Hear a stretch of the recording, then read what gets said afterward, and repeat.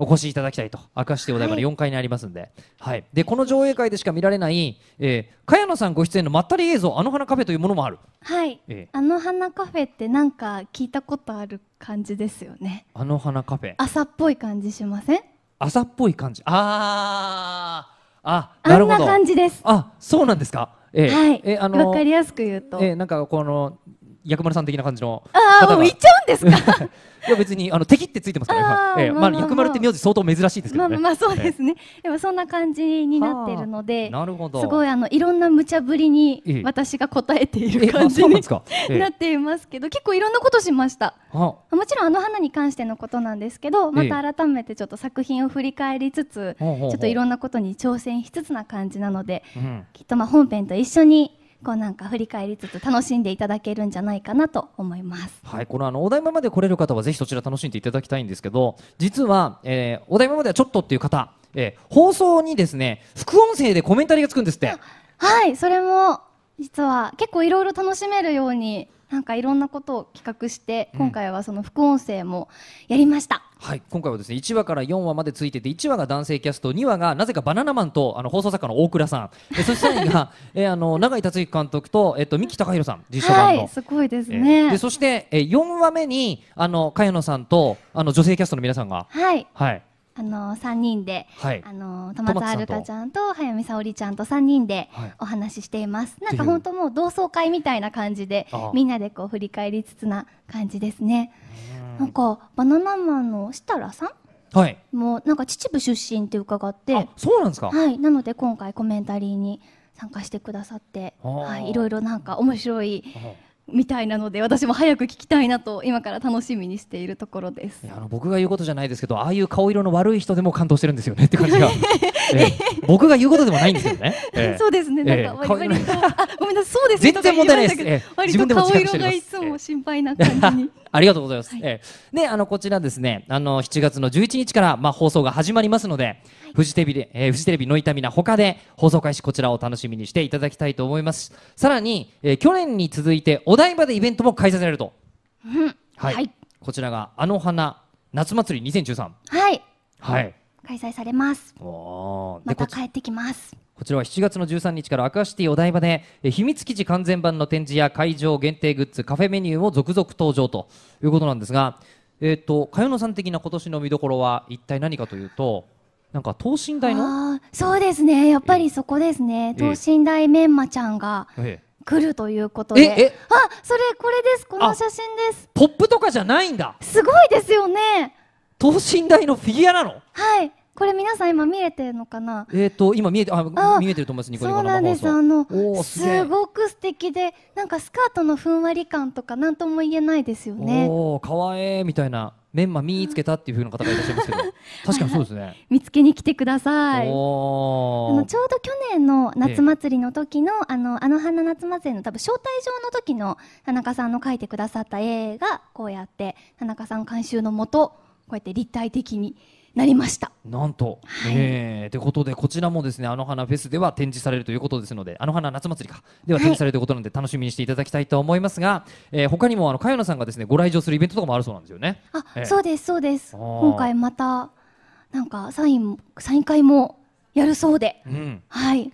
なんかどんな感じになるのかちょっとあれですけど、いや正直言ってはい。あの今回映画の公開じゃないですかはい。映画の公開に合わせてこれだけのことをやる作品ってまずないですよ。あ、そうですよね。えーいかにあのスタッフの人があの花もっとやりたかったかっていうのがすごく伝わってくる。もうでも宣伝隊長なので、うんちょっとあの花の良さを広めるため私は今年の夏はあの花にうん捧げたいと思います、おじゃあそれではですねまずその一番初めの皮切りがきっとこのあのニコニコ生放送というか、はいえーだったと思うんですけど発表会だったと思うんですがではあの最後にですねあのメッセージをご覧いただいた方々にお願いいたします。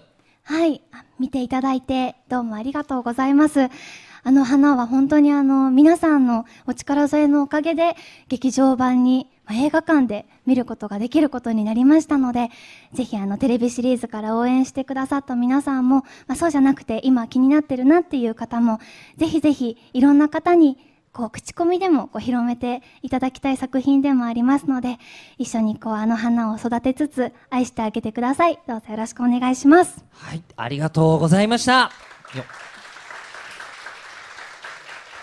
えーあの日見た花の名前を僕たちはまだ知らない。7月の11日からノイタミナでスペシャルオンエア。そして13日からはお台場アクアシティであの花夏祭り2013がスタート。そして8月の31日から全国ロードショーということでそして今日もノイタミナ公式アプリで、えー、とこのキーワードを入れるとあのいろいろと特典がというですね、えーはい。キーワードがあの花に関してもあるわけなんですがではキーワードを茅野さんにすみませんあえてなんですけど、はい。メンマっぽく発表してもらうっていうのは？メンマっぽくわかりました。おやりましょう。最後の最後にキャラっぽくやっていただけるようになりました。ではキーワード発表お願いします。キーワードはあの花だってばよはいありがとうございました。よ。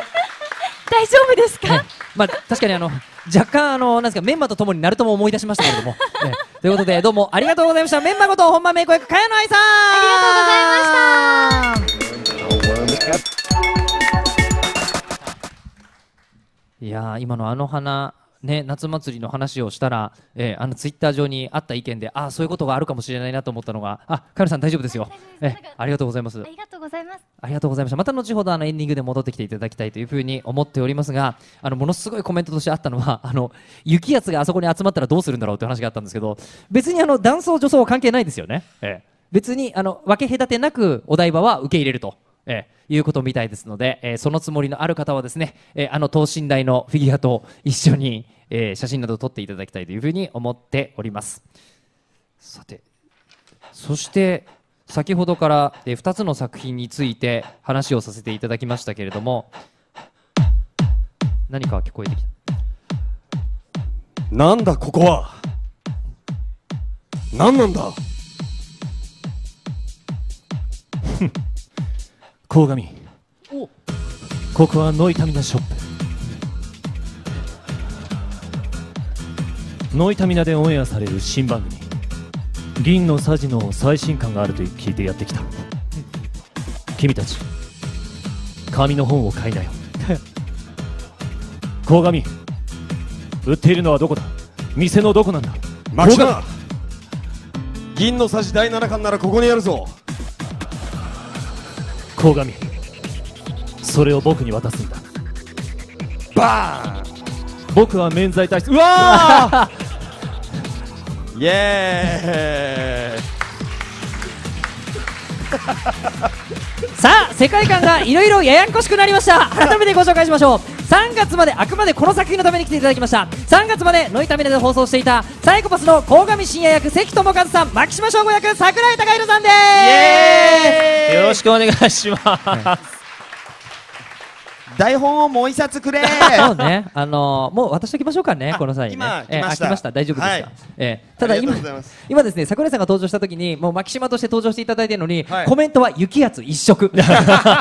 まあ、流れそうなるよね。流れ的にノイタミの全体に押すっていう、ええそうですよね。はいその後銀の筋持ち出しちゃって紙の本買いなよでしたね。申し訳ございませんでしたさあということで。そうなんですよね。はい。我々はですねはい。はいはい。えー今日はサイコパスに関するお知らせをいろいろやってねっつってはい。言われてきました。よ、すごい楽しみ。はい。えそうなんですちょっとぼんやり言われてきたんで我々もちょっとまだ戸惑い気味なんですけども。あのお知らせのために呼ばれたんですけども、はい。コントやってくれって言われたんで。す そうなんですよ。そうですね。はい。わざわざあのワイヤードであのこれゆっくり引っ張りながら 大町の顔して出てこなきゃいけない桜井さんみたいな。しかも自前でこの銃持ってこいって言われた。自宅から持ってきたんです。いわゆるあ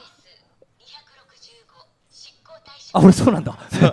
俺執行対象だったんだ。ああ はいということで。潜在犯です。はいさあということでじゃあお知らせをはい。早速してまいりましょう、はい。最初はこちら。ドドン。なんと今日からサイコパスのサイトがリニューアルするんです。イエーイ。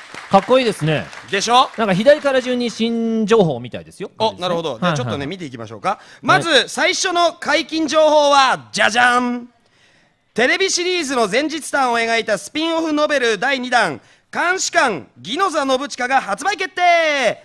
ノイタミナノベルでも読めるようになってるんで、えー、嬉しいね桜井君。紙の本を読みなよ。僕出てくるんですかねこれ。一言ネタじゃない全く全く出てくるかどうかわかんないです。現状今鋭意執筆中でございます、はいはい。えー、じゃあ次のお知らせはこちら。ドドン。はいえー、おあ僕の段取りでございます、はい。えーお次あーお次この巻き間聞いちゃうのさっきから。ドラマ CD ゼロ名前のない怪物下巻が発売決定実はついこの間あの収録したんですよ。そうなんでございます。はい。すげえ楽しみ。はい。えー上巻はコミックマーケット84で先行発売で下巻は今年の冬頃に発売の予定でございます。はい、はい。さあそしてドドンはい、はいさらにですね塩谷監督の完全監修288ページ2000枚にも及ぶ原画集も発売決定です。塩谷監督の書き下ろしがなんと5点もあるらしいじゃないですか。全部書き終わったってツイッターでつぶやいておりました。盛りだくさんですね。塩谷監督その情報とももクロの情報しかつぶやいてないですからそうなんですよ。ね。ね。はい。僕死んでますからね。そうなんだよね。そうなんですよね。僕も行方不明ですからね。そうなんですよ。ねそうですね。言われてみれば。そうなんです。えーさあ、えーこちらはですね、はい。6日から予約開始になるということですんでね。皆さん急いでくださいね、急いでくださいませ。あそういえばあのもう一個ありましたよね。お知らせしてくれってことが。なんだっけ？あ思い出しましたよ。ドドーン。スネ夫っぽい。あーって何やってんですかこれ。某所で行われるイベントが東京名古屋大阪福岡北海道の5大都市でライブビューイングされるらしいよ。なんか重大情報もあるとかないとか。まあこのイベントには我々は呼ばれてないんですけれども。そうなんです、はい。あの僕死んでますしあの関さん生死不明じゃないですか、はい。その代わりにきちんと生き残ってる花澤香菜ちゃんと野島健二君が参加するみたいですリアルすぎですね。え？そんなに？そうなんです。そんなに厳密に？サイコパスはもう世界観を大事にするんで、ええそうです。はい。いやーでも本当サイコパス個人的には僕あのはい好きすぎて、ノイタミナショップにみんなで黒スーツで集まるイベントとかリスナーと勝手にやったんですよ、えー。ぐらい好きなんで。いやいや俺も呼んでくれてなかったマジっすか？全然行ったのに、ちょっとあの今度でも9月の6日ですよね。そうなんですよ。9月の6そうです。日僕は少なくとも客席には絶対いたいんですけど。おだから関さんも別に見に来る分には止められないんじゃないですか？関さんとして見に来る分には、そうですね。僕も誕生日が近いんで、9月8日なんであ本当ですか、はい行ってちょっとなんかね、ええ。サプライズでお祝いでもしてもらえる、はいはい。おすごい、はい。えーここまであの押し付けがましいサプライズがあっただろうか。そう9月の6日ですか。ら、皆さんはい。ハッカーに入ってるですね、ええ。応募券はい。今応募券が来ました。ね。おー。見えますか？ここの応募券見えますか？ぬ抜いてくださいね今桜井さんがですねあのお手元に持ってきているこのハガキ台のこちらが、はい。ちょっとあの今明かりが当たってなくて黒っぽくなっちゃってますけどこちらですね、えーこちらが真っ黒のカードこんな感じです見えてますけど、はい、なんか意味深なななんかこうあの招集みたいな感じがしてちょっといいですね、はい。えー9月の6日ですね、はい発売。あじゃあイベントが9月6日ですね。そうですね、はい